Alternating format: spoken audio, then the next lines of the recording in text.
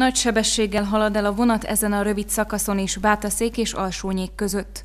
Az elmúlt napokban több bejelentés érkezett a Bátaszéki rendőrőrsre arról, hogy a vasúti pálya ezen részén egy csapat gyerek zavarja a közlekedést.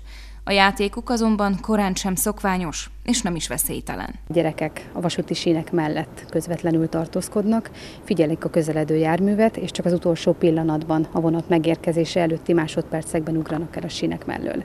Emellett több alkalommal fordult elő a bejelentések alapján, vagy a bejelentések tartalma alapján, hogy a gyerekek köveket helyeznek a sínekre, ami azért nagyon veszélyes, mert a nagyobb kövek akár ki is a vonatot. Több baleset történt már ezen a szakaszon, és volt köztük halálos kimenetelű is. Elég egy kis figyelmetlenség, egyensúlyzavar vagy egy rosszul visszapattant kő, és megvan a baj. A bátaszéki rendőrök felvették a kapcsolatot a helyi polgárőrökkel, így közösen végzik a fokozott ellenőrzést ezen a szakaszon. Farkas András, a Bátaszéki Polgárőr Egyesület elnöke úgy véli, nagy felelőssége van a szülőknek abban, hogy ez annyiba maradjon. A szülők lesznek felelősségre vonva, ugye meg gondolom, hogy kiskorú gyermekek, a felelősség a szülői.